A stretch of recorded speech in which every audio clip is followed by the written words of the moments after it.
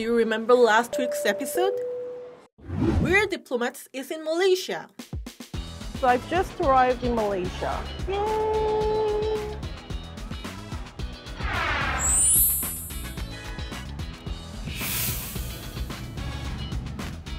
Why are we in Malaysia? The reason why we're here is to attend the Malaysia International Halal Showcase or MIHAS. Apa kabar? This year's MIHAS is being held here at the Malaysia International Trade and Exhibition Center. Then let's go inside.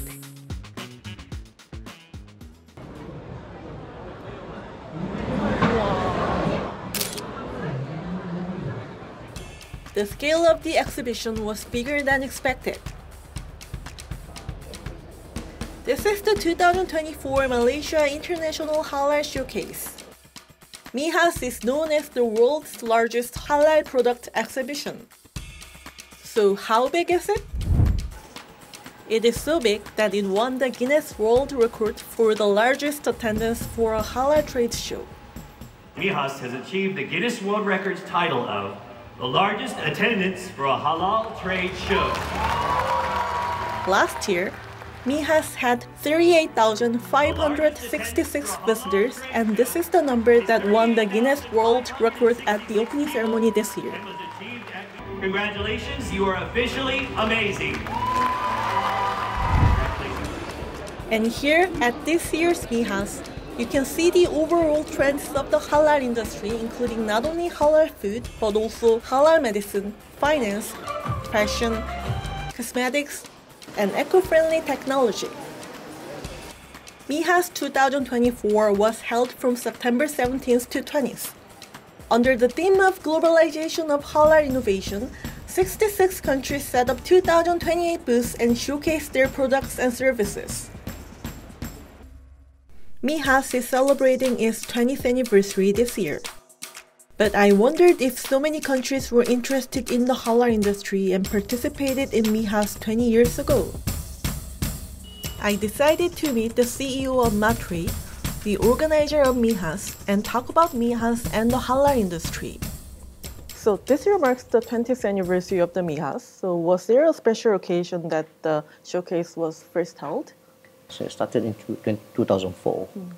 We started as a domestic uh, event, focusing only on the consumer. And uh, at the point of time, uh, halal was not the agenda of the of the government or, or the or of the country. Uh, but uh, after two years, we realized that there's a big potential when uh, we brought in uh, foreign buyers. So what's so special about 20, the, the 20th uh, edition of MIHAS? I uh, feel that uh, this year is different from last year, bigger in terms of the uh, uh, number of buyers, foreign buyers we're bringing in. And then, uh, of course, the main components of uh, MIHAS uh, this year uh, covers uh, the exhibition, the international sourcing program, the knowledge hub, uh, as well as the um, MIHAS award. So with all these combinations of activities that we are organizing this year, we believe that we will be able uh, to to take uh, the uh, Malaysia halal industry above and beyond what we uh, and uh, this is also a, uh very important event where will determine whether our uh, plans to uh, internationalize MIHAS uh, will be successful or not. And I think with the result that we are getting, uh, God willing, I think we can do better outside there as well. Through the conversation with him, I was able to get an overview of the exhibition.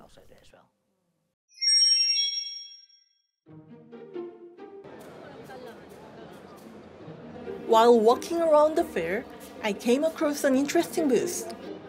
It was a booth for an Islamic finance fintech company. Islamic finance or halal finance. I wondered what kind of financial system it referred to. So, I decided to find out. Hi, I know there are food and beverage that has to go through a certain process to be certified as a halal product. Yeah. But the fintech is also halal. For Islamic fintech or fintech, it's more of the um, uh, contract behind it. It's all based on the contract lah, or halal contract. So it has to be Sharia compliant. You have to go through Sharia agencies to make sure that your product is um, um, Sharia compliant. Halal finance, or Islamic finance, refers to ways of doing financial transactions and banking while respecting Islamic law or Sharia. Halal finance operates under a unique system that differs from the kinds of finance we commonly know. Halal finance is based on the belief that money itself should have no value. It's based on the thought that money should only have value when exchanged for goods and services, and that money should not be made with money. Therefore, the payment and receipt of interest payments is prohibited. That's because lending money and receiving interest is considered unfair profiteering. So how does the Islamic bank earn revenue? Suppose you have a client who wants help from a bank to buy a property. In that case, the bank will purchase the property instead, then receive payment and agreed profit margin from the client in installments. And then, the bank will hand over ownership at the end of the installments. This type of financial transaction is called murabaha. It's the most commonly used Islamic financial technique. Additionally, investments in financial products with uncertainty, such as gambling and derivatives, are prohibited. Muslim investors should seek Sharia-compliant investment opportunities that align with Islamic values and ethical standards. Interesting. The world of halal industry seems truly limitless. Now, why don't we meet some of the other halal companies that are participating in this year's MIHAS? So you're based in Malaysia? Yeah, correct. Okay, could you introduce your company? We are manufacturer for products for sco- cosmetics, uh, supplement. Our company is a Muslim Muslim uh, manufacturer company, so we will do product according to the Sharia law food. You should note that only companies that have or are applying for halal certification can participate in MIHAS. Therefore, all of these are halal companies' booths. Our company name is Meet Me. We are a food manufacturer.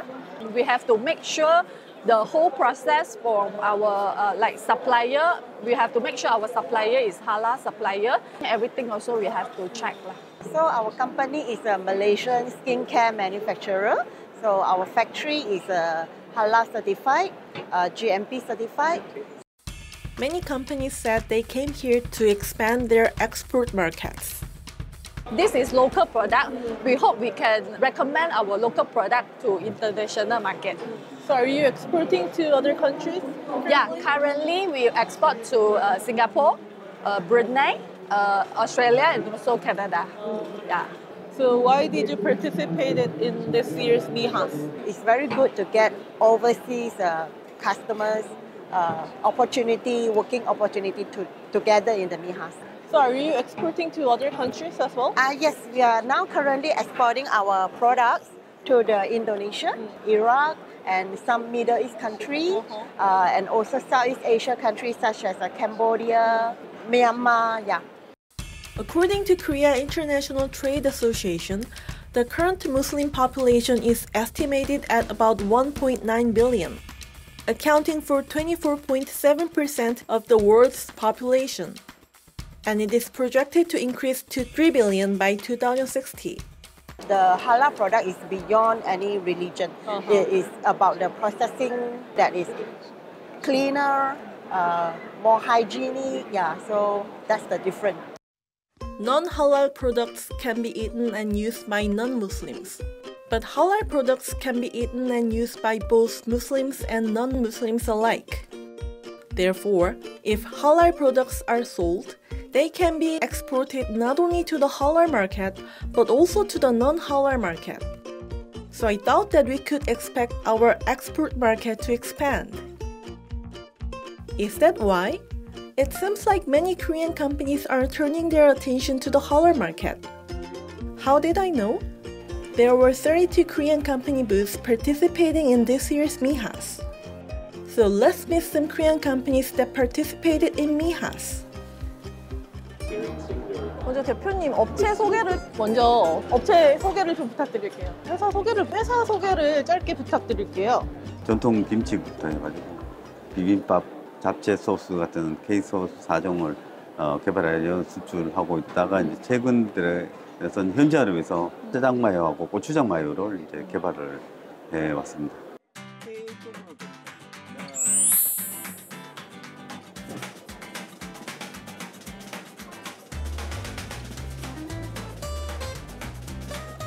저희는 세계 최초로 식물성 콜라겐 원료를 개발한 B2B 그리고 그 원료를 활용한 B2C 브랜드 활동을 하고 있습니다.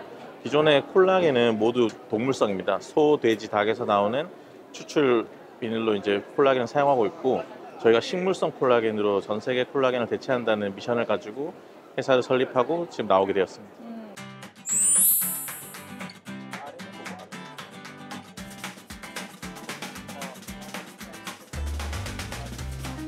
저희가 정수기와 공기청정기 같은 환경가전 제품을 렌탈하고 일시불로 판매하고 있는 그 청원하에서 해외 법인입니다. 법인 중에 하나입니다.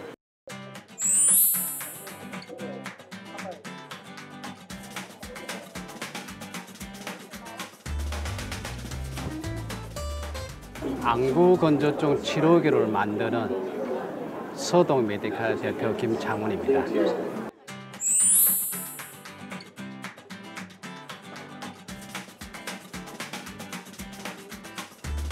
PCR을 이용해서 DNA 검출을 하는 키트를 만들고 있고요. 네.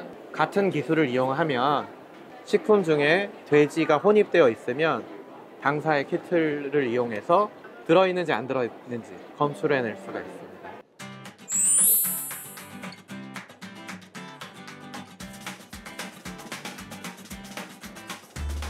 그러면 이번에 이 미하스에 참가하게 되신 계기는 어떻게 되나요?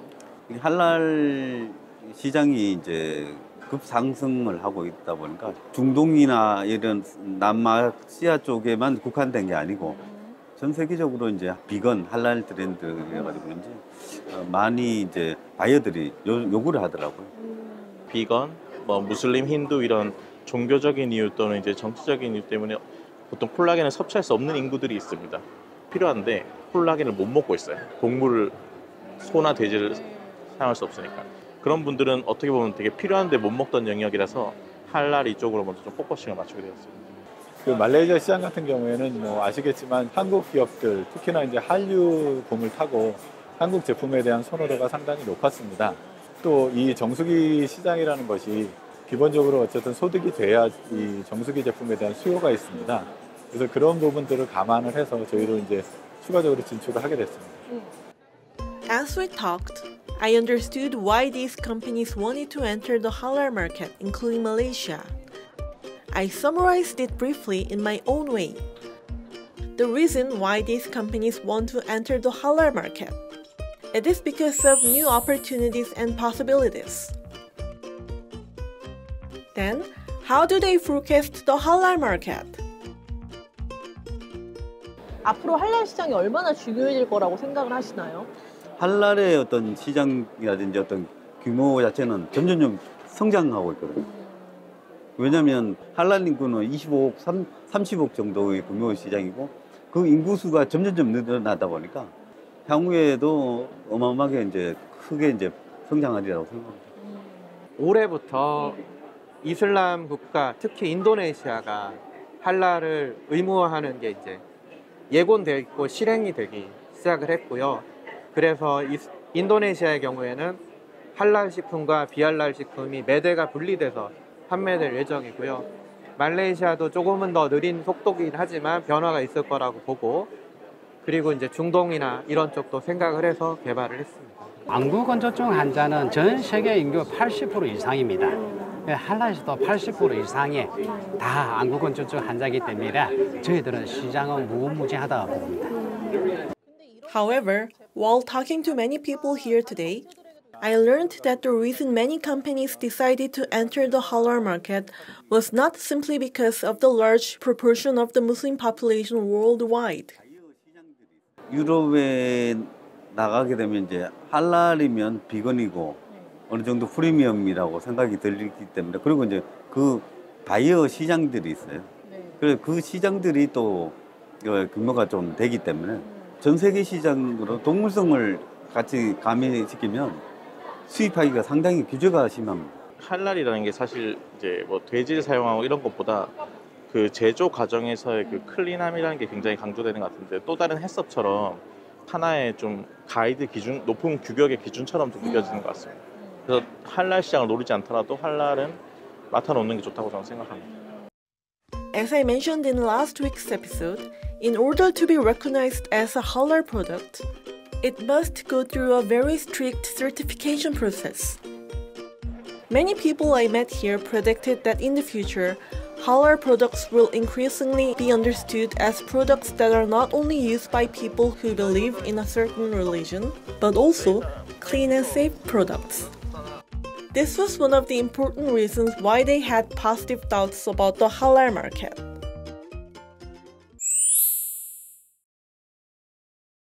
This year, 66 countries participated in MIHAS, and a total of 2,028 promotional booths were set up. However, it is not only companies that want to sell and promote their products that attend MIHAS.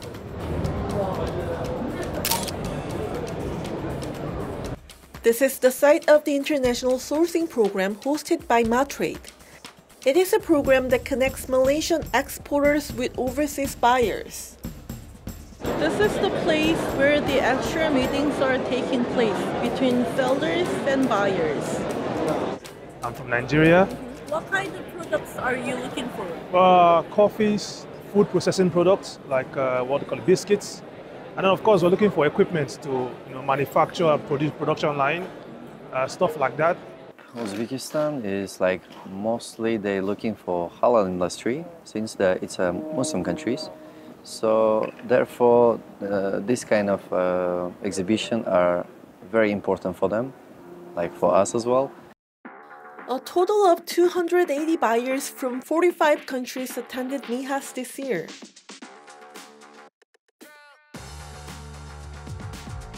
I was walking around the meeting site and came across a familiar name. Republic of Korea is here.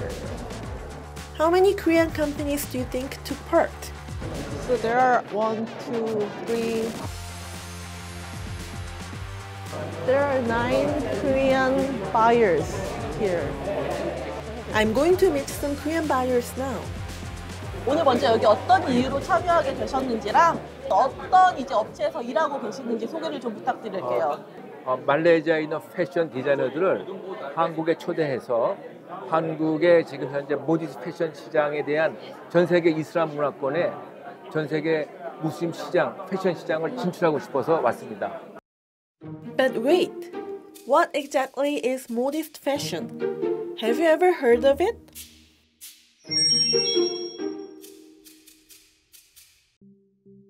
Modest fashion is spreading as the world's Muslim population increases and the halal industry grows.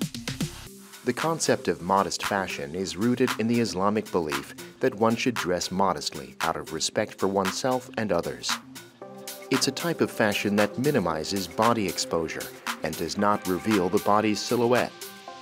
It's characterized by high necklines, long sleeves, low hems, and loose silhouettes. Modest fashion also includes the hijab. And now, it's gaining popularity among a growing number of young Muslim women who want to pursue their individuality while still adhering to Islamic principles. The global modest fashion industry was estimated to be worth 295 billion US dollars in 2021, and it's expected to reach 375 billion dollars by 2025. And whenever I meet Muslims, I feel that the clothes they wear are a little different from the everyday clothes I wear. But I never thought about looking at these clothes from the perspective of the fashion industry. That is why I found this conversation very interesting. 한국에 무슬림 패션 디자이너가 없어요. 그래서 말레이시아가 패션 산업에 좀 말- 나름대로 이름이 있기 때문에 말레이시아 패션 디자이너를 한국에 초대해서 우리하고 동대문에 있는 시장 어, 분들하고 같이 코업을 하기 위해서 코브랜딩 그 이 모디스트 패션 쪽을 이제 좀 알아봐야겠다 하신 계기가 어떻게 되시는지. 한국에 어, 1년에 한 100만 명 정도 무슬림 관광객이 옵니다.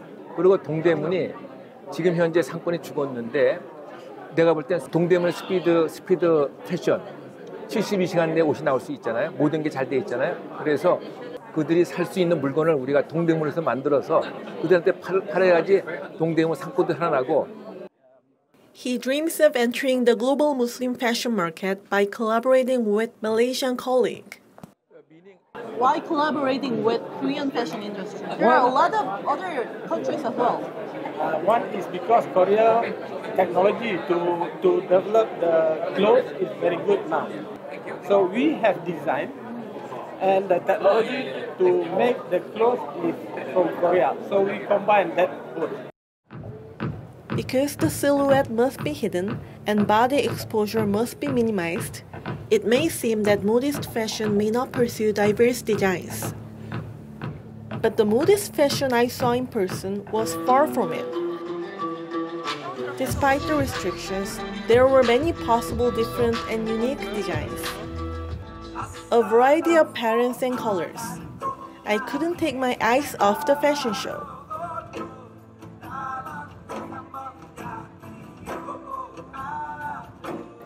K 패션의 표준이 이슬람 국가에서 통할 수 있는 그런 표준을 같이 개발을 해서 하게 된다면은 말레이시아도 이익이 보고 한국도 이익이 보고 이 패션 시장이 거의 뭐 몇천억 이상의 가치가 있는 거니까 시장이 있으니까 그걸 당연히 우리가 해야죠. Uh, insert the handbag um, uh, concept into the modest fashion. I look forward to Korea and Malaysia joining hands to bring a breath of fresh air to the modest fashion industry. Do you know what I found most surprising while covering Mihas for four days? It was the incredible popularity of Korean culture in Malaysia. There was a lot of interest in Korean halal products. If you like Korean food, which what is your favorite Korean food? Uh, I would say bibimbap. Oh. Tteokbokki. Tteokbokki. This is seaweed. Yeah, the right? seaweed. And and also the tteokbokki. Tteokbokki. Yeah, this is the two most popular in Indonesia and also in Malaysia. Okay. But another surprising fact not all of the Korean food products displayed here are manufactured by Korean companies. I'm doing snack halal snack manufactured in Malaysia. And I saw your products and it has Korean language on it. Yeah, we are the biggest uh, seaweed manufacturer in Malaysia. So we import the seaweed from Korea. So we localize the flavor over here. And this booth is clearly a Malaysian company, but they are selling not only Malaysian spices, but also Korean spices. And they have a lot of different kinds. First, could you tell us about your company a little bit? We are a factory, World Prominence in Berhad uh, in Malaysia. So what we have is um, spices in form of powder and cube. So when did you start producing Korean spices? I think Korean spice, you know, they was trending a couple years back. So we came up with um, uh, to, to, to fit, you know, there's a requirement, you know, people wanted to Mm. try. I wonder how popular they are, the Korean products. Oh, very popular. Very popular? Yes, very popular, of course. Can you try like some Korean food as well? Yeah, we're gonna let get you to cook. Oh. Yeah, it's one, two, three. It's very simple. Come. Korean food made by a Malaysian company. Let me try making it. This is like kimchi jeonbul in Korean. Uh-huh. So this is the powder for kimchi jeonbul. It is not difficult at all. It is similar to making ramen. Which one is your favorite? For me, dak ganjang. Dak ganjang. Put it. Wow. Yes, very fast. Oh. Is it nice? Yes, but it has like some kind of Malaysian flavor in it, right? Yes. They said they combine Malaysian and Korean flavors for localization. eating Korean food made by a Malaysian company. It was truly a new experience. Delicious. 맛있어요. 맛있어요. 맛있어요. I discovered something else that was interesting. 이게 그거네. 말레이시아에서 만든 한국 라면. So these are Korean ramen made by a joint venture between Korea and Malaysian company. I think Korean ramen is really popular in Malaysia. So how was the joint Korean-Malaysian halal ramen company born? 저 회사에 대해 설명을 좀 해주시겠어요? 네, 일단 저희 회사는 신세계 맘이라고 하는 회사고요. 한국의 신세계 푸드하고 말레이시아의 마미 회사가 합작을 해서 만든 회사입니다. 그래서 신세계 푸드에서 제품의 맛을 개발을 하고 그거에 맞춰서 그 마미에서는 생산을 담당을 하고 있습니다. 근데 어떻게 이렇게 신세계 맘이라는 회사가 탄생을 한 거예요? 계기가 있을까요? 할랄 푸드에 대한 그 소비자 니즈가 커지면서 그에 대한 시장이 클 것으로 판단을 했고요. 그에 따라서 저희 저희도 이제 한국에서만 이제 사업을 하는 것이 아니라 좀 전 세계로 확대를 하고자 해서 좀 글로벌화를 위하여 이렇게 회사를 합작해서 설립하게 되었습니다. 근데 이제 사실 한국 회사들도 지금 이렇게 할랄 제품을 따로 만들어서 수출을 하고 있기도 하잖아요. 네네. 근데 그런 방식이 아니라 말레이시아 회사랑 이렇게 합작을 해가지고 회사를 만들게 된 이유가 있을까요? 아무래도 저희 신세계 푸드라는 회사는 라면을 만드는 회사가 아니기 때문에 대신 R&D의 능력이 있고 맘이라는 회사는 라면과 그 감자칩의 전문 회사이지만 한국에 대한 뭐 맛이라든지 이런 것들 조금 부족할 수 있기 때문에 각자의 회사의 좀 장점을 모아서 이렇게 장점을 살린 회사를 설립을 했다고 봐주시면 될 것 같습니다. 근데 어, 매출이 어때요? 지금 말레이시아에서? 어, 말레이시아는 특히나 한식에 대한 또 한국 음식에 대한 또 한국 문화에 대한 인식이 상당히 좋기 때문에 한국 라면에 대한 인지도도 계속 올라가고 있고요. 덕분에 저희 한식 라면도 매출 출시한 지 오래되지 않았지만 매출은 계속 성장을 하고 있고 This company's signature product is this one. And it is famous for being incredibly spicy. So how did the Malaysian people who have tried this ramen react? Spicy. Good and spicy. Good and spicy. Yeah. Actually, I like it. You like it? Mm. So I will try this ramen, which was produced by a joint venture between Korea and Malaysia company.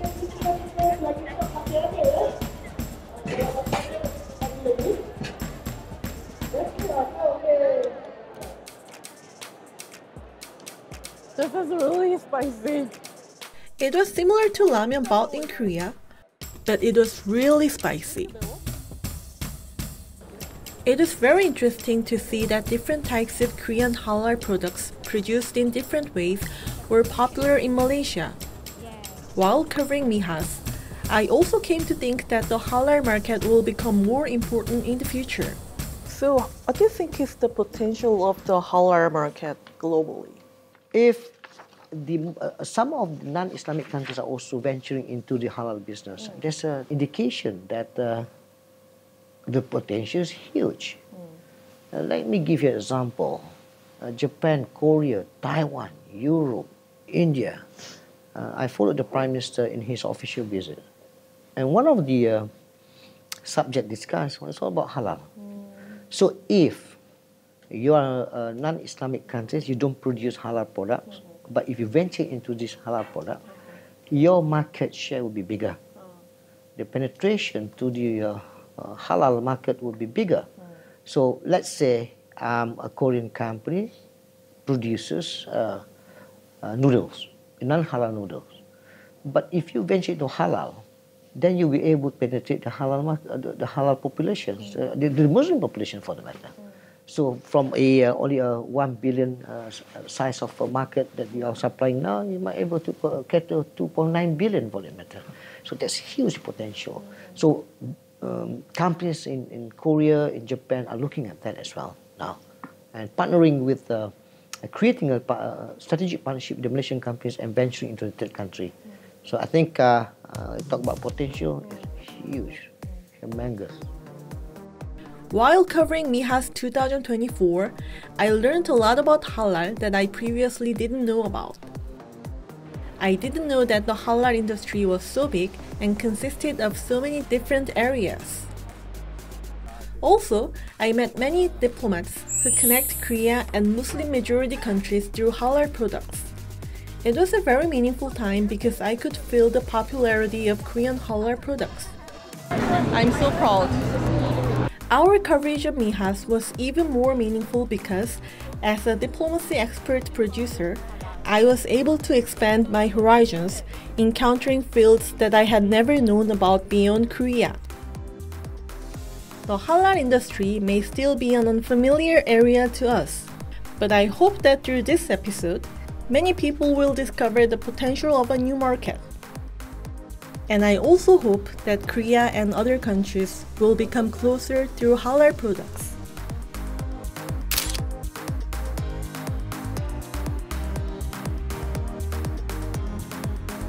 Today is the second day of Mihas. Today is the third day of the Mihas. 격세 지각입니다. 격세 지각. 맛있다는